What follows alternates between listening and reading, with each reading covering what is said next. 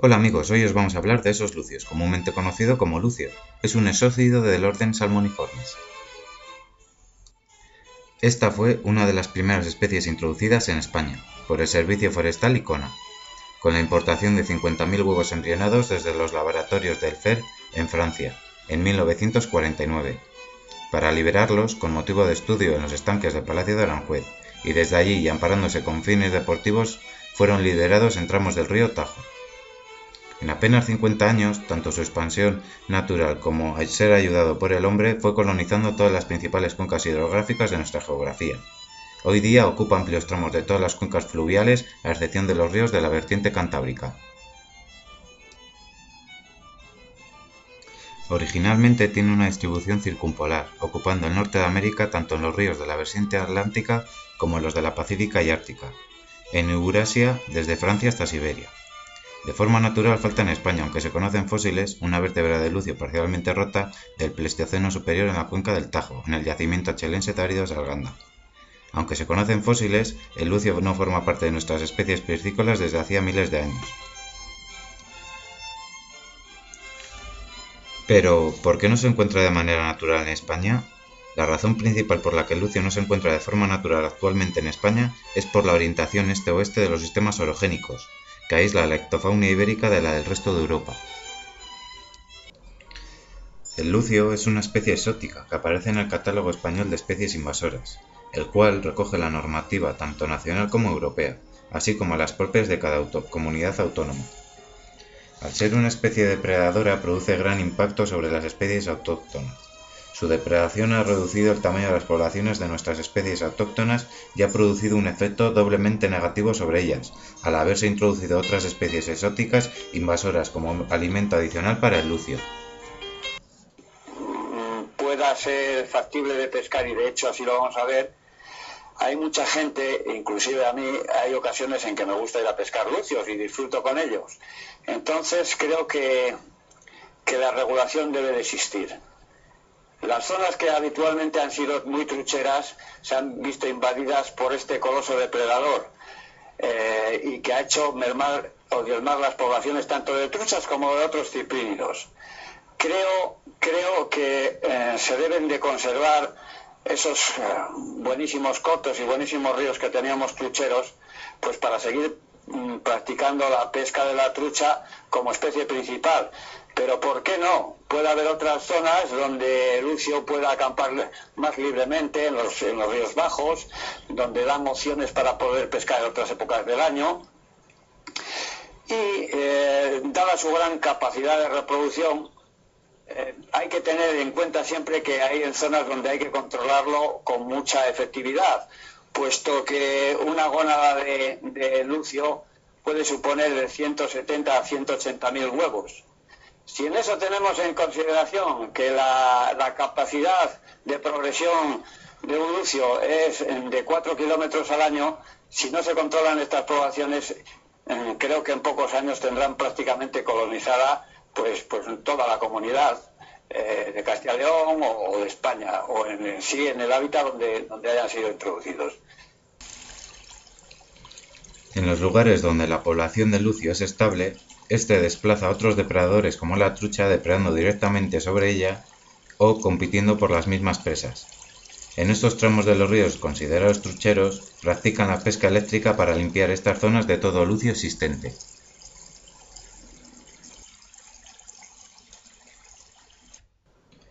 El lucio es un depredador generalista con escasa selección de alimentos. Aunque tiene una dieta basada en invertebrados y ciprínidos, ocasionalmente consume anfibios, reptiles, mamíferos y aves.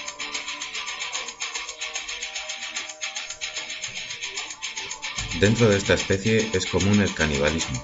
Desde pequeño ya se comen todo lo que se mueve, aunque sea de su misma especie. Esta costumbre regula de forma natural las superpoblaciones, que llevarían a una degeneración de la especie y de las que le rodean. El lucio elija las presas más fáciles de capturar a la hora de alimentarse, y estas suelen ser individuos enfermos o ineficientes, realizando así una limpieza genética, pues sobreviven solo los individuos más sanos.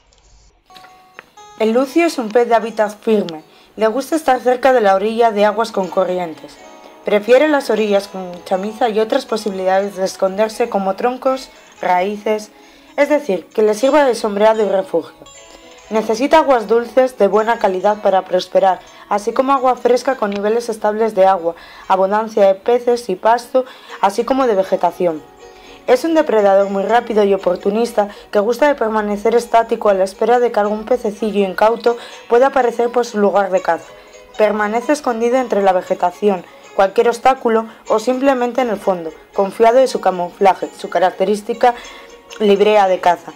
Por su naturaleza depredadora no gusta de la compañía de ningún otro animal. Desde su nacimiento vive en solitario y desconfía incluso de los individuos de su misma talla y especie. Por este motivo escoge desde su nacimiento un lugar donde no sea molestado y el cual defenderá a toda costa y que solo cambiará por cuestiones de tamaño.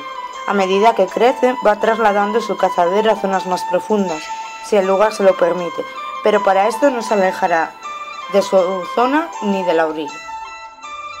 Cuando Lucio está cazando se sitúa en una posición oblicua, con la cabeza más alta que la cola. Cuando está reposando adquiere una posición horizontal en el fondo. Estas poses parecen reconocerla a las demás especies, que se atreven a rondar cerca cuando está reposando y que no se acercan cuando están en posición oblicua. Por su carácter agresivo, está siempre alerta y ataca bien sea por hambre o por el afán que tiene por defender su zona de caza. El clima influye sobre su actividad.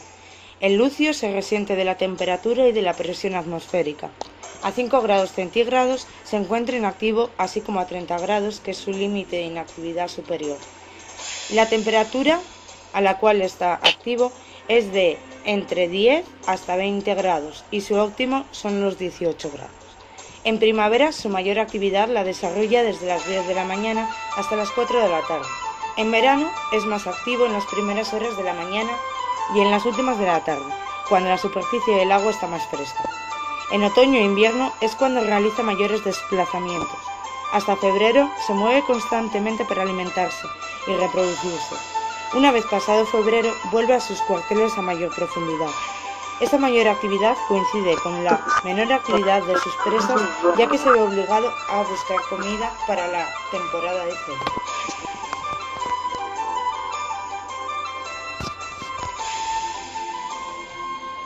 El lucio puede estar parasitado por Diphyllobotrium latum. Se trata de una tenia ancha del pescado, un cestodo, la cual puede afectar al ser humano si se consume su carne cruda, produciendo la difilobotriosis. En cuanto a su morfología, el lucio es alargado y fusiforme, donde su aleta dorsal y anal son simétricas y homogéneas y se encuentran situadas en el último tercio de su cuerpo junto con la aleta caudal muy robusta, la cual le proporciona un rápido, fuerte y explosivo empuje en el que se prende a sus víctimas. La boca de Lucio es un espectáculo de la naturaleza. El pez que tenga la desgracia de caer en sus fauces no tendrá ninguna posibilidad de escapar. Destaca mucho su mandíbula inferior, prominente, que forma una gran boca aplanada que asemeja al pico de un pato. Sus dientes son muy fuertes y muy afilados, unos 700, distribuidos hacia atrás y en hileras. Están situados sobre la mandíbula, el paladar, la lengua, el vómer y los huesos de la faringe cóncava. Estos dientes impiden que lo que muerda pueda escapar. En muchas ocasiones esto se convierte en una trampa doble, pues no son pocas las ocasiones en las que Lucio ha muerto asfixiado por no poder ni tragar ni soltar una gran pieza capturada. Además, en su boca se encuentra una bacteria anticoagulante. En cuanto a su reproducción, su época de celo comprende desde febrero hasta bien entrada la primavera. Es cuando se suele ver con más facilidad a varios machos cortejando a una gran hembra en las orillas, ya que su reproducción es de tipo poliámbrico, es decir, que los huevos de una hembra son fecundados por muchos machos. Su puesta varía mucho de unos ejemplares a otros ronda de los 15.000 a los 35.000 huevos por kilo que pesa la hembra, pudiendo llegar hasta los 700.000 e incluso el millón de huevos en una sola puesta por una hembra de 18 a 20 kilos de peso. Los huevos son de un color rojo verdoso de unos 3 milímetros de diámetro. Son depositados por la hembra en el lugar elegido, el frezadero, adhiriéndolos a las plantas, ya que en esta especie es de las denominadas fitófilas, cuando la temperatura del agua alcanza entre 4 a 10 grados. Los huevos eclosionan a los 15 días. Las larvas, tras su nacimiento, miden unos 8 milímetros. Se adhieren a, la vegetación alimentándose de su saco vitelino hasta alcanzar los 2 centímetros. Con este tamaño ya se hacen independientes e incluso depredan sobre individuos de su misma especie. En su primer año de vida, los lucios pueden alcanzar de 12 a 30 centímetros, en su segundo año de unos 30 a 60 centímetros, en el tercero de unos 50 a unos 70 centímetros y a partir del, quinto año pueden pasar de los, de los 80 centímetros en adelante. Esta gran diferencia de unos ejemplares a otros de la misma puesta es debido a su alimentación y depende de la cantidad y de la calidad del alimento a su alcance. En estos primeros años de vida, los lucios son denominados por los pescadores como lapiceros. Es una especie muy longeva y algunos ejemplares pueden llegar en ambientes adecuados a los 30 años, con tallas de casi los 2 metros y un máximo de 30 kilos.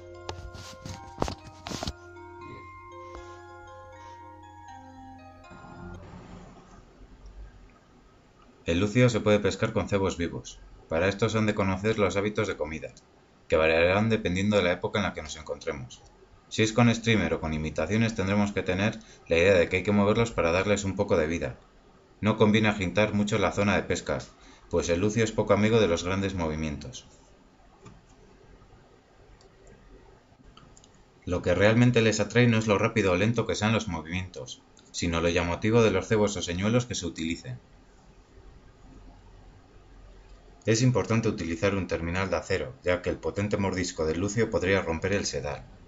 También se recomienda dejar centímetro y medio o dos centímetros debajo de línea para que el señuelo pueda moverse y atraer al animal. Uno de los mejores tiempos para pescar este animal es a principios de verano, tras la época de desove. En junio están a poca profundidad, pero en julio el agua comienza a subir su temperatura y los lucios se sumergen más abajo, a partir de agosto las aguas empiezan a enfriarse y la oscuridad de la noche se alarga.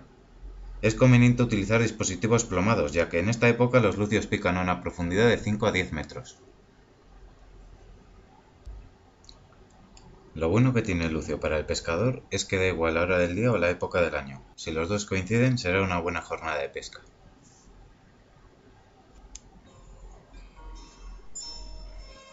En España el lucio es una especie odiada por muchos debido a su voracidad sobre nuestras especies autóctonas, así como apreciada por muchos pescadores deportivos. Sin embargo, en países como Inglaterra, Escocia e Irlanda tuvo que regularse el precio del lucio en el mercado, porque el valor del lucio era mucho más alto que el mejor salmón fresco, el mejor rodaballo o incluso más alto que el bacalao. En España no es apreciado en cuanto a la gastronomía. ¿Y ahora tú qué crees? ¿Héroe o villano.